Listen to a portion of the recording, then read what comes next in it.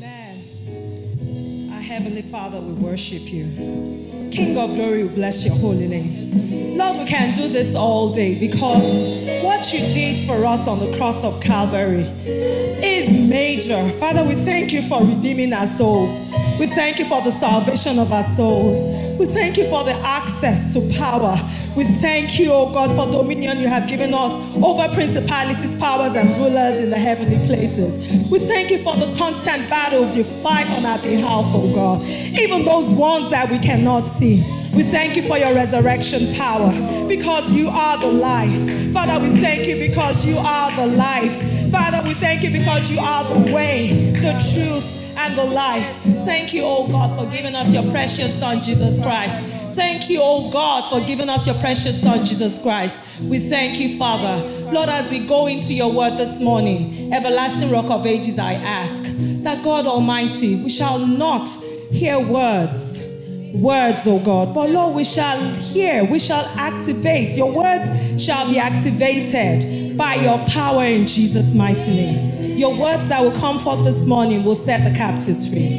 So your words that will come forth this morning will be spirit and will be light in Jesus' mighty name. Meet us all at the point of our needs, oh God, and do not let us return to our homes the same way we have come in Jesus' mighty name. Amen. Before we are seated, good morning, church, and happy Easter. Before we take our seats, I'd like you to turn to your neighbors on the left, right, back, front, and welcome them to church.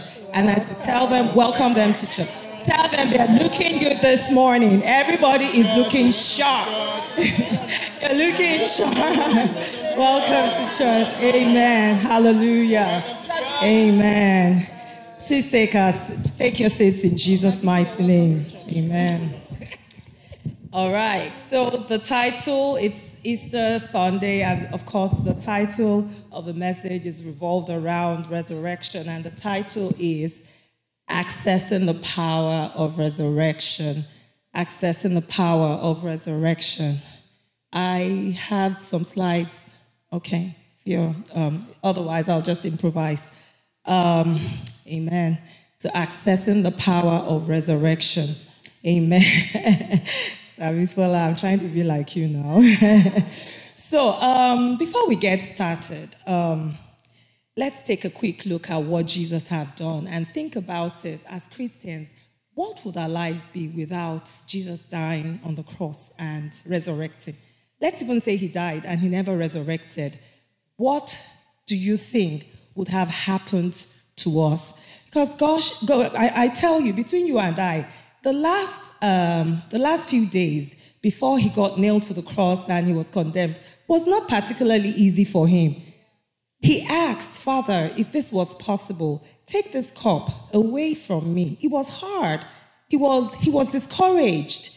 It was a heavy load that he had to bear. Dying on the cross, he was whipped, he was despised, he was spat upon, he was, you know, also, he probably didn't even know where this was going to end. You know, like he probably did not know, but he did the will of God. And thank Jesus, he obeyed till the end. Because, I mean, like, Jesus did a lot of things. He demonstrated God's power in different ways. He healed the sick, he raised the dead, he, um, what, he healed the woman with the issue of blood, he cast out demons. But did you know that the major part of Jesus' um, mission to earth was to die on the cross? And the devil tried from the time he was born to stop that. That was the crux of his mission to, the, to, to earth to die and to rise up from the dead. Because no, the power of God to Christians will not, be active, will not have been activated without the death and resurrection of Jesus. So when we're celebrating Easter, it's a huge thing. It's a huge thing. And why? Why Easter? Why did Jesus have to die? Why did he have to go through all that? Why did he have to, why did he need to resurrect? Why did he need to resurrect? Of course, we know that there's, we always sing the song, power in the resurrection, power in the blood of Jesus. But it goes beyond the songs we sing, it goes beyond the act itself. Now, let's think about our environment this, in this day and age um, as Christians, our salvation, our walk with God, our walk for God, cannot be successfully accomplished without keying into the power of resurrection. So, this is just like um, giving a background of why we need to activate. As Christians, we need to understand the power of resurrection, walk and walk in the power of resurrection. Let's think about the environment we live in in these days. We are living in critically dark times. How many of you agree with me? We are living in critically dark times. People are using their loved ones for rituals. If you are from a part of the world, the, the rate of ritual killings, I, I, happen to be on Instagram, not because of anything, not because I want to um, check out slay mamas. I, I want to know what's going on, you know, because I still have loved ones back home. The rate of ritual killings and kidnap has, has gone astronomically high. As in, even people that claim to be your loved ones, if you're not careful, will kidnap or even use. Like, it's just like the order of the day. It's like drinking water. Ritual killings is like, heard in the last one month, I've heard not one, not two stories of young girls that their body parts were harvested. I'm not, I'm sorry, I'm not trying to gross you out, but it's just trying to reflect on the reality of the times we're living in. How about, well, in the civilized world we live in these days, men have become lovers of themselves. They don't care about what happens to their next door neighbor. It's become a dog eat dog life. Look at what's happening in Russia and Ukraine. People are being bombed to death at train stations. So the level of wickedness has is on the rise. And would it get better? I don't think so. It's not going to get better because of the times we're living in. Whether we like it or not, as Christians, we need to become, begin to awaken to the fact that we're living in the end times. Wickedness will be on the rise. But as Christians, how do we navigate? How do we stay focused? How do we operate in this kind of environment? There's in, in computer science, there's something they call the operating system. Without the operating system, the com- computer does not have its functionality. So we need an operating system to function in this kind of environment, and it's only accessed through the power of resurrection. I tell you, and this is not to scare you, as Christians, if you're living without accessing, it's one thing to be saved, though, and it's another thing it's another thing. To, sorry. It's another thing to walk in power. And God's purpose for us is not just to be saved. Yes, that's part of the work of, um, that's part of the benefits of the resurrection. But also beyond that, take dominion. When he created Adam, he said, going, well, he said, multiply and take dominion. That was the instruction he gave. When Jesus um, Jesus was going to leave when he ascended into heaven, go into the world and preach the gospel, take dominion. So, God's purpose for us is to take dominion. And how do we do that? More than ever before, we need to key into God's power because of the kind of times we're living in. More than ever before, we need to tap, key into God's power in our walk with God like we've never done before. Now, we're going to go on. What are the implications of Christ's resurrection to us as believers? Of course, we're all familiar with salvation. Um, can we scroll on to the fifth slide, please, so everybody can see? Fifth slide. No, um, right before that. So, this is the crux of the message today. We're going to be reading scriptures. The implications of Christ's resurrection, what are they?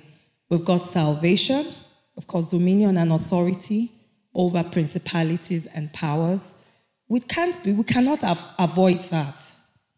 Um, I mean, like COVID had happened, since COVID happened, I don't know about this part of the world, but even in Nigeria, people under 40s, over 40s, are just dropping dead. And this, you know, I, I recently lost my younger sister, and um, I he, she also happened to have lost her husband seven months before. So, you know, things are happening, even in even to Christians, and things are happening. And um, So it, it's just a reflection of the kind of world we're currently living in. And I have, in the past few weeks, since all of these incidents, I have come to the realization of the fact that if you're a Christian and you do not access the power of God, the power of God's um, Christ's resurrection, the devil will make a mincemeat of you. You, you, you, you cannot um, be lukewarm. You cannot afford to be lukewarm. We cannot afford to be lukewarm in these days. We cannot afford to deprive ourselves of tapping into that power. The power is available, but there's a level of knowledge that is required, the level of seeking that is required to access this power. But it's now on us. The court, ball is in our court. Are we ready? Are we ready? Would we rather live a mundane Christian life and, uh, and be tossed to and fro by the by the happenings of life, or would we choose to access that power and live above and take dominion and fulfill God's purpose for our lives?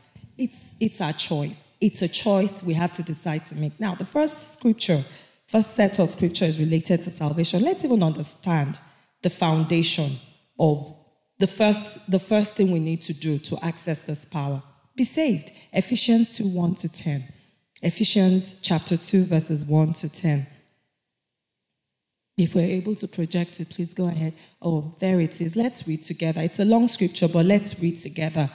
And you hath he quickened who were dead in trespass and sins, wherein time past you walked according to the course of this world, according to the prince of the power of the air, the spirit that now walketh in the children of disobedience among whom also we all had our conversation in times past, in the lusts of our flesh, fulfilling the desires of the flesh and of the mind, and were by nature the children of wrath, even as others. But God, who is rich in mercy, for his great love, wherewith he loved us, even when we were dead in sins, hath quickened us together with Christ by grace we are saved, and hath raised us up, by, up together and made us sit together in heavenly places in Christ Jesus, that in the ages to come he might show the exceeding riches of his grace in his kindness toward us through Christ Jesus. For by grace are ye saved through faith, and that not of yourselves. It is the gift of God, not of works, lest any man should boast. For we are his workmanship, created in Christ Jesus unto good works, which God hath foreordained that we should walk in them. Hallelujah.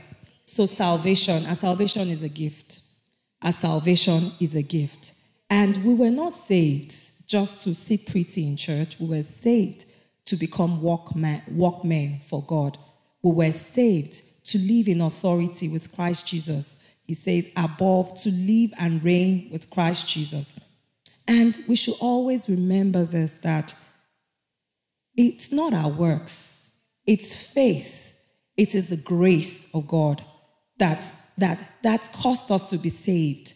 And once in a while, from time to time, we need to re-evaluate the status of our salvation because a lot of things happen. A lot of things happen. Sometimes we need to compromise. Sometimes we we bend to you know the storms of life. Things happen, but from time to time, we need to continuously access that salvation, access that level of authority that we need to dwell. So we are we take dominion now, let's move on to the second implication of Christ's resurrection, which is dominion. Which is dominion. We're going to be taking some prayer points after this. Um, dominion. Why does God want us to, to dominate? Why does God want us to, to, to, to, um, to have authority on the face of the earth to do his work? Philippians 3 8 to, 8 to 10. Philippians 3 8 to 10. Let one to let's go. Let's read together.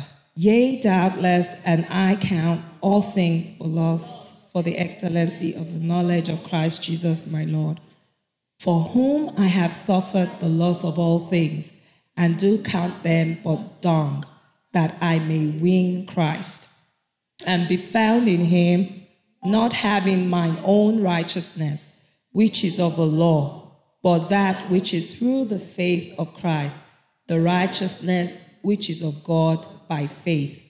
Now, this is the crux of the scripture that I may know him and the power of his resurrection and the fellowship of his sufferings, be made comfortable unto his death. The highlight there is that I may know him and the power of his resurrection.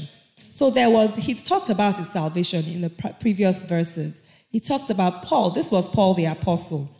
Paul the apostle was not um, in quotes like the fishermen that Jesus walked with. He was a knowledgeable, he was not, he had the knowledge of the word, but he was raised in the church. He was baptized as a child. So, you know, all the, you know, the paraphernalia of being um, a godly person, a righteous person, he had. My father was, a, his father was probably a pastor, his mother was probably a deaconess, you know, like he had all the titles, but he said he counted them as nothing. All those titles were nothing. But all that mattered to him was knowing Christ. Was knowing Christ. So it was one thing to be saved. It's one thing to be saved. It's one thing to come to church every Sunday. And but it's another thing to know Christ. There's a deeper level. And the reason he's accessing that, the reason he's interested in in that is so that he can access the power of his resurrection. Paul went through a whole lot of things. He went through the fire, he was beaten by snakes, he did not die. That is level. And even at the level he was as, as, as, a, as an apostle, he still craved for more. There are levels in Christ. I mean, like, let's take Jesus for example. He raised the dead, he did this, he did that. But did you know that going to the cross, cross, being able to cross, go to the cross to die and resurrect was another level. It was not the same Jesus that was baptized by John the Baptist that went to the cross. It was he, he was able to do what he did because he constantly sought the face of the Father. He constantly learned about him. Have you prayed till you'd started dripping blood? Those are levels.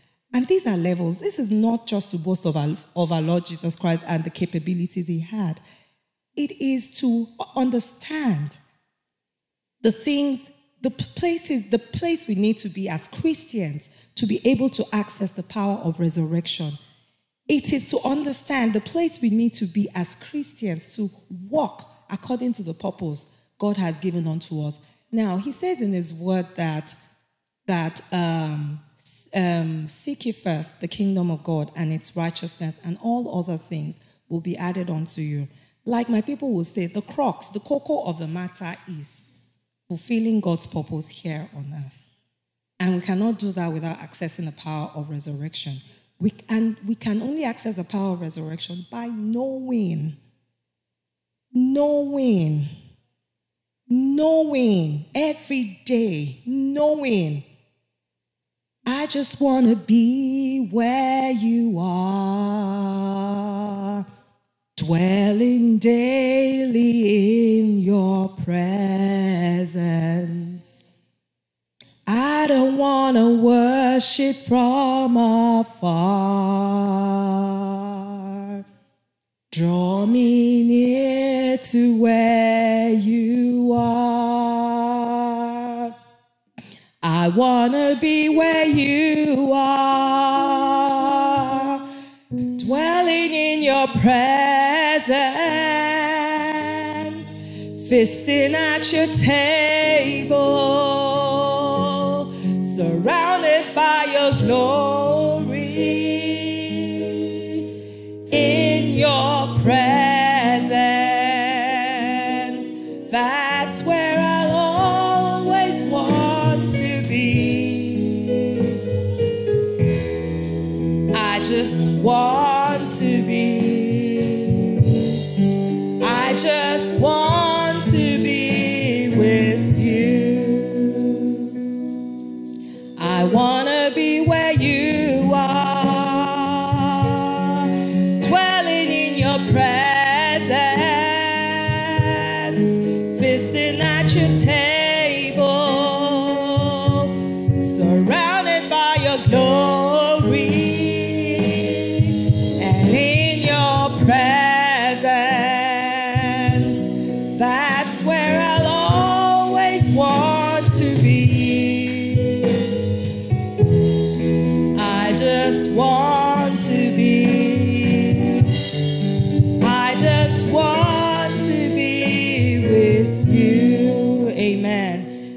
be our prayers this morning. Because there is no other place.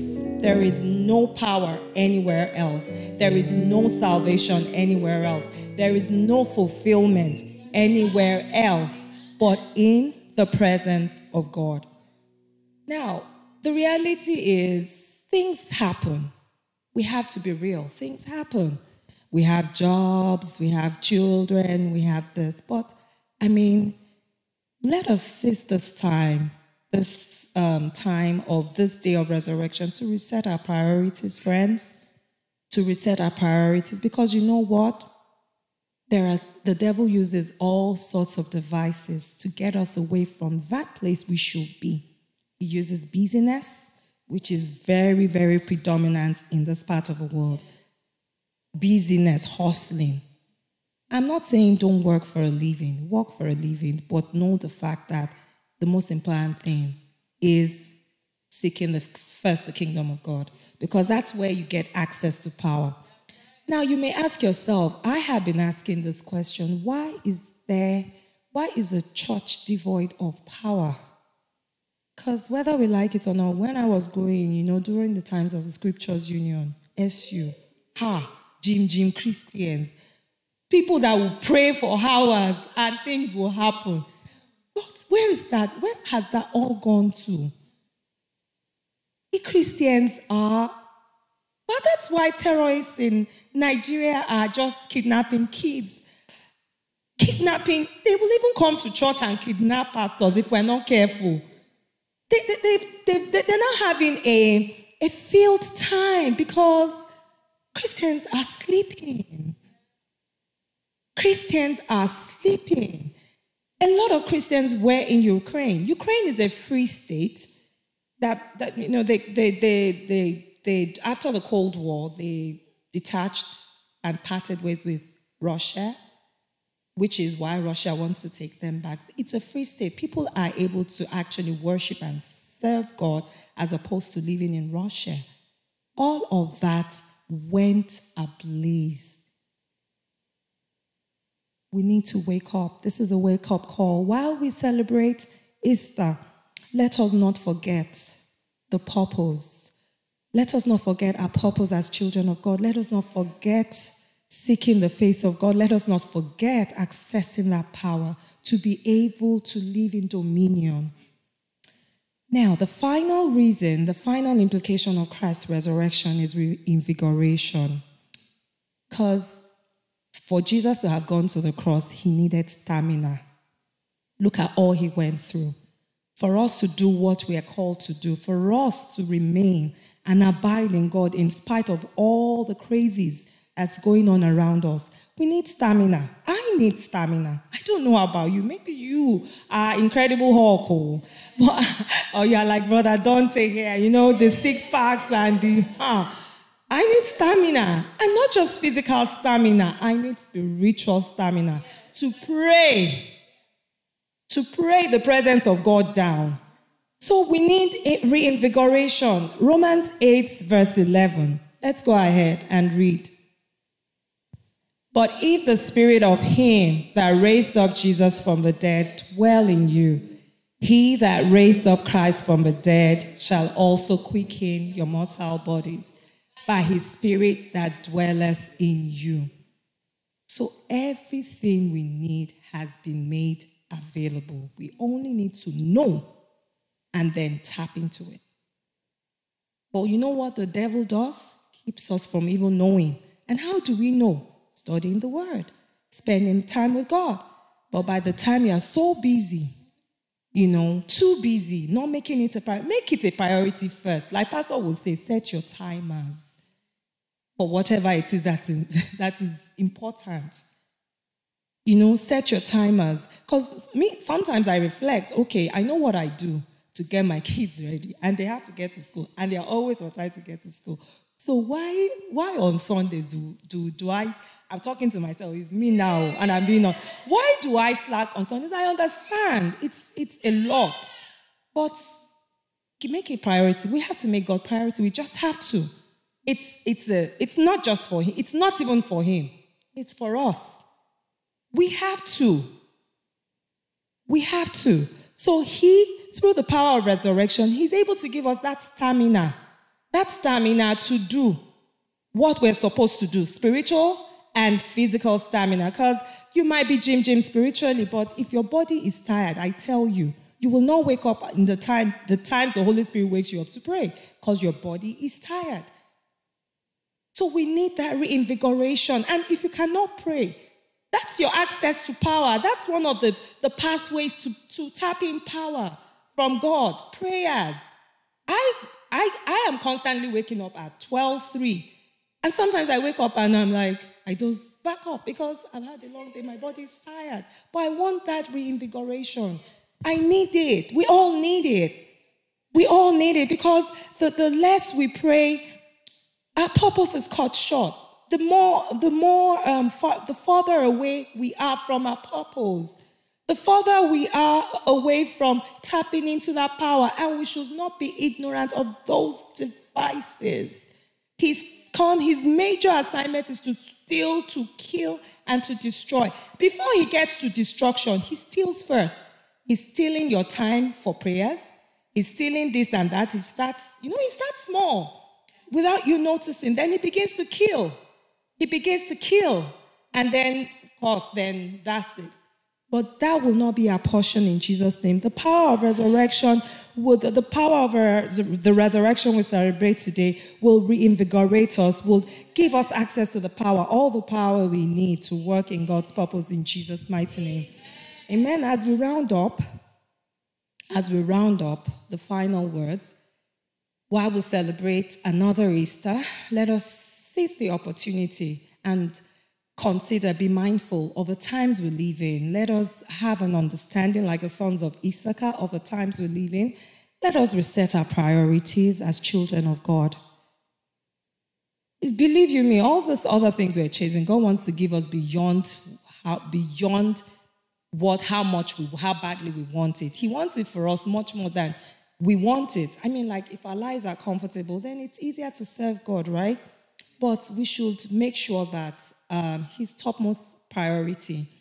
And um, the end is near, friends. We should never forget that. We should always remember that the times are precarious because the end is near. Um, before we go ahead to take prayer points, I would like to seize this opportunity to make an altar call. Perhaps you're here. We, we, we previ- um, initially found out, we initially learned that salvation is key. Without salvation, we cannot access the Father. Without salvation, we cannot even begin to talk about dominion and being reinvigorated. So we need to, um, for the, if you're here, you don't have to um, shout out to anyone, and nobody does. Anybody doesn't have to see you, but in your heart of hearts, you know. Or maybe we're here as Christians. We need to rededicate our lives to Christ. Let us take a few minutes to go before God and ask for a fresh power, the fresh release of His power of salvation upon our lives. Let's ask, oh God, for a fresh breath of His anointing. Father Lord, we ask, oh God, for everyone gathered here today whose heart is not aligned with you, Lord. Ask in the mighty name of Jesus that you touch their hearts reunite their hearts to you, O Lord. Perhaps, O God, they, their hearts had been reunited with you once, but um, the cares of this world has taken them far away from you. Lord, I ask you bring them back to you, O God. Save our souls, O God. Save our souls, O God. Lord, renew our spirits within us, renew a right spirit within us, Lord, and create in us a clean, clean heart, so Lord, in Jesus' name.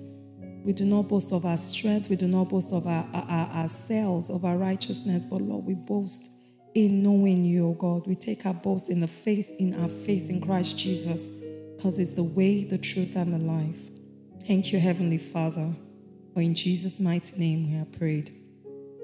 All right, so I would like to implore us at this time to rise as a church. We're going to take three prayer points now that we've heard the word. How am I doing with time, Lord Bishop? We're good? Okay, all right. The first prayer point will be to ask God for a renewed and deeper understanding of Christ a renewed and deeper understanding of Christ, just like Paul had asked. And Lord, that I may know him and the power of his resurrection. Father, take me deeper to the level, a new level in you, O God. Give me a deeper understanding of you, of your workings, O God. Help me to make you topmost priority in my life, O God.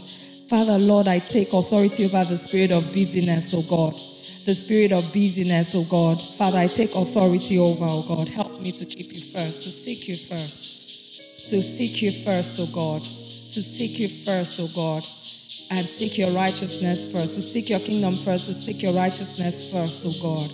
Father, Lord, give us, take us deeper into that level, to that level where we access the power of your resurrection in Jesus' name. That nothing will matter but Christ in our lives, oh God Nothing will matter but Christ in our lives, O God. Father, we worship you. Thank you, O God Almighty, for everyone gathered here today, O God. Thank you for a new level of revelation, revelation knowledge of you that will take them, O God, to that place where they're supposed to be in Jesus' mighty name. Father, Lord, help us to seek you like Jesus sought you, O God. Help us to pant after you like David panted after you, O God. Oh, because they were able to overcome because they sought you, O God, and they, they, they walked in the authority, O God, and knowledge of you. Father, we worship you.